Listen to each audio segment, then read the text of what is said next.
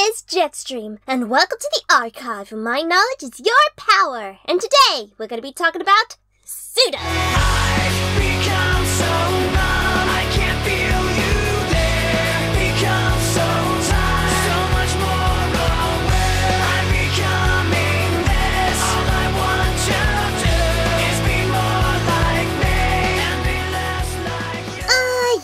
The one whose name escapes me, and for a good reason, I'm sure. The name's meaning is sham, being the thing that is not what it appears to be. Suits the guy to a T, don't it? But we remember him better for being based off the guy from the episode from Transformers Prime, Makeshift. Wheeljack? What are you doing all the way out here? Bulkhead? That's you? What's with all the security? The rock we're on is crawling with 'Cons. A war hero. We haven't much time. Makeshift. The rock we're on is crawling with 'Cons. You get here even the odds? Sometime tomorrow. I put pedal to the pedal. See you soon, buddy. I'll make sure you get a proper welcome. I too know how to prepare a proper welcome. Pretty interesting that once again a mech with the same abilities happened to make only one appearance, and for Pseudo happens to be Season 1, Episode 24 Ghosts and Imposters. Ooh. Ooh. Ooh. Gets me every time. In fact,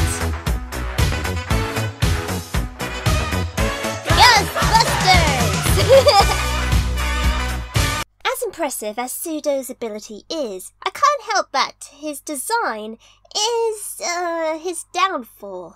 It makes him not exactly seeming very memorable, and since a ton of the time he's not on the screen as himself, but in disguised as someone else, kind of makes him even less memorable.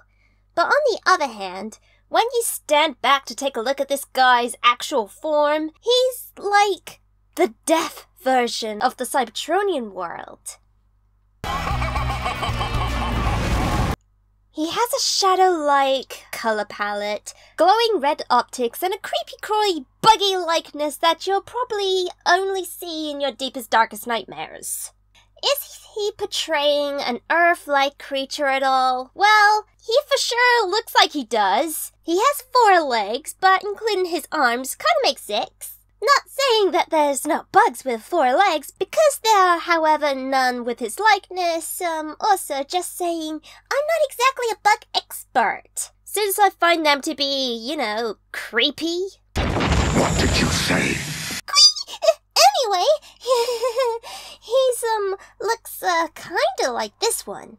No, no, no, no, not the adult. The ladybird larva is the first form of a ladybird, and little by little it formed changes to look like your run of the mill ladybugs. But once again, I'm kind of guessing based off his body type. It's totally possible that a Cybertronian has a non Earth like creature form. It's more common than you might think. It's apparent that he don't exactly have a firing weapon at all. Same can pretty much be said about his transformation. He just uses the very fact that his ability itself is the weapon, using this to transform into anyone's likeness, which includes their very own transformation. To see if he can do this. Accessories not included. He uses this to fool his victims in the past to gather important and otherwise secret information, and deploys the info to either his own advantage or sells it to the opposite side for a price. It's very possible that they already hired him to put his life on the line in the first place, just to find out what was hidden in that one bot's diary.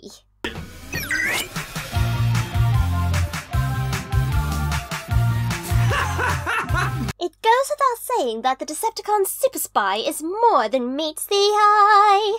Even more so than the typical Cybertronian. Pseudo never hesitates to use his abilities to sow confusion among any what would be captives. After all, the one secret Pseudo will never part with is his own.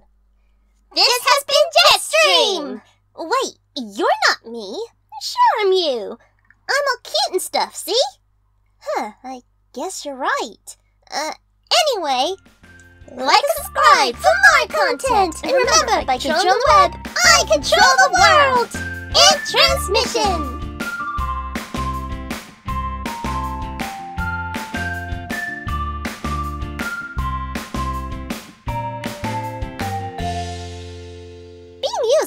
I mean, what?